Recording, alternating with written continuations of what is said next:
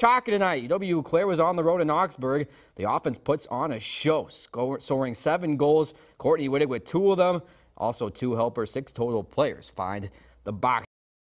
College hockey, women's side, Blugolds on the road, taking on Augsburg. Second period down 1-0, not for long. Augies turn it over, and Courtney Wittig getting her team high 15th goal of the season.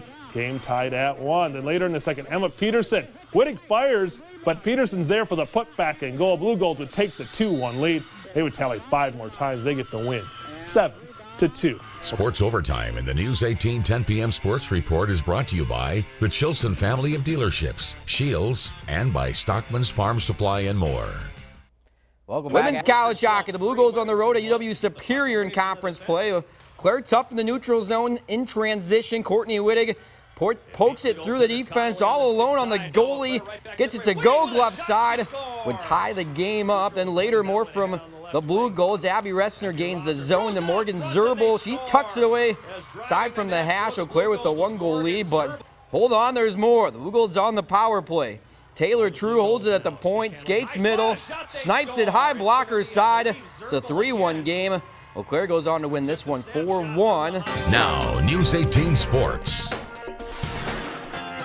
UW Eau Claire women's hockey took on Superior for the second time in as many days today. Yesterday, the Blue Golds won 4-1. Today, the Yellow Jackets look to come down to Hobbs and avoid the season sweep. To the ice we go.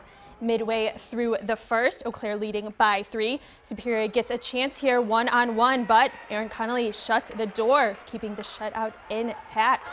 Now in the second, Superior's Ty Bischoff carries low into the zone, looks for the wraparound, but Connolly is right there on the post, soaks up the rebound too. Score holds three zip, more from the second. Emma Peterson knocks the puck loose to Monica Soden, gets the shooting window, doesn't hate to put one home for a four goal lead. Then in the closing seconds, the Blugolds add a little um, insult to injury. As Elizabeth Bauer sets up Sammy Meister beautifully in the low slot. She hammers it home, and it's a five-goal game for Eau Claire. Blugolds sweep the season series with the Yellow Jackets and a big shutout from Erin Connolly. To the ice, the Blugolds women defeated UW Superior on the road last night 4-1 to extend their winning streak to three. This afternoon, they'd welcome the Yellow Jackets to Hobbs. UW Eau Claire has only swept back-to-back -back games once this season, they'd get out to a 3-0 lead in the first. Now in the second, Superior can't clear Monica Joden takes a crack at the loose puck and buries the biscuit. Blugolds ahead 4 to nothing late in the period. In the net, Eau Claire's Erin Connolly picked up the shutout with 26 saves. Nothing got by her this afternoon. The Blugolds would put the nail in the coffin with 0.2 seconds left as Sammy Meester lights the lamp. Eau Claire had five different goal scorers as they win soundly 5 to